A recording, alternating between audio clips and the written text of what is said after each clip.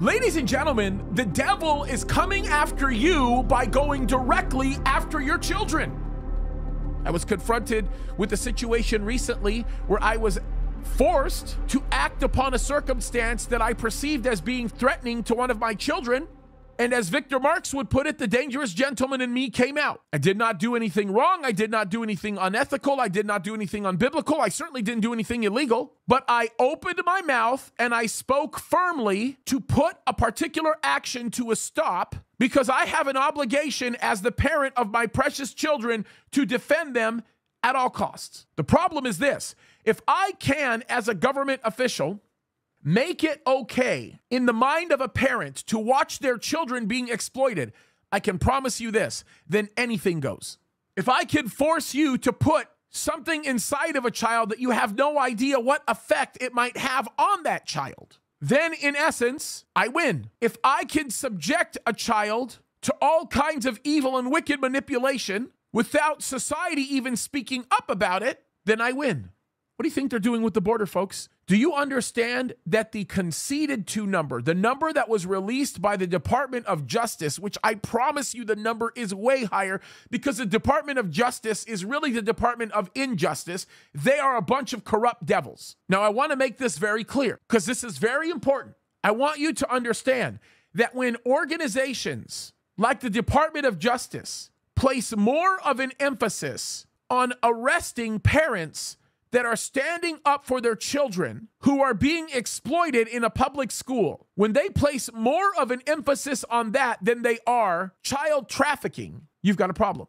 Let me go back to what I was going to say. This number is conceded to by a corrupt Department of Justice. As a matter of fact, the number comes from the Department of Justice. But did you know that over 80,000 kids so far this year have disappeared from the border? You talk about you don't like kids being in cages and so on and so forth, you big fat hypocrites. Even though you're okay with kids being exploited in ways that are unimaginable to most people in society, you say that's okay. But you're to get mad that kids are in cages that Obama created? Think about that for a second.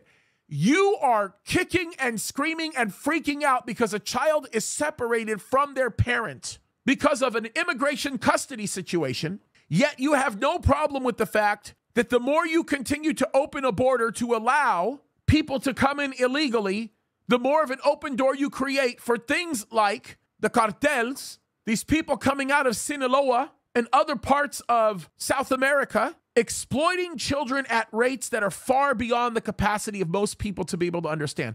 Does anybody, does anybody realize how insane of a mindset that is? We just had a movie that got released. Pay attention to this, folks. I believe it's called The Sound of Freedom. Jim Caviezel is in this movie. I have seen clips of the movie before it was actually released. I have spent some time looking at the materialization of the plot as they were beginning to develop it. And I can tell you this right now I may not recommend a 16 year old or under going to watch the movie, but I would recommend anybody going to watch the movie because the movie actually creates awareness within people to understand what's really going on.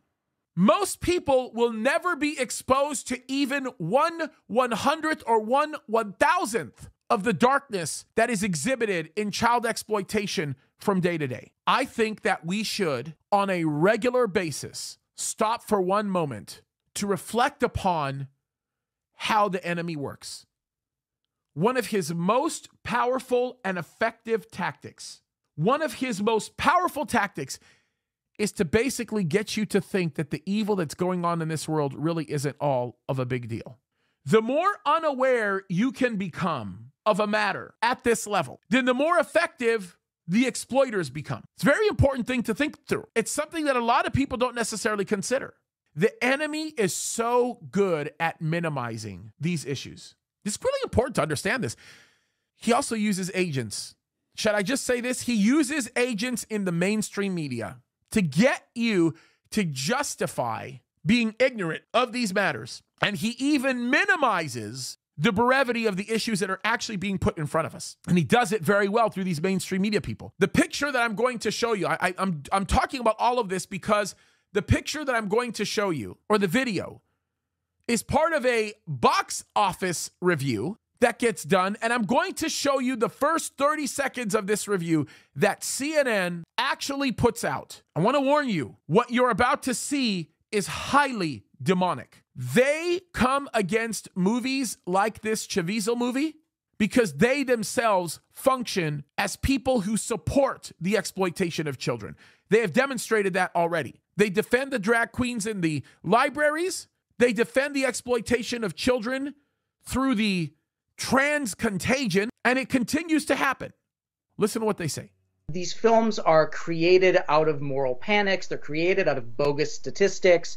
They're created out of fear. And with something like Sound of Freedom, it specifically is looking at QAnon concepts of these child trafficking rings that are run by the high level elites and only people like Tim Ballard and only people like Jim Caviezel, and by extension, only people like the ticket buyer can help bring these trafficking rings down. So there's a very participatory element. You're not just going to see a movie, you're just killing two hours on a hot day you are helping bring down these these pedophile rings and save children. Now it's not true, but it's a very comforting and it's a very warm feeling to have.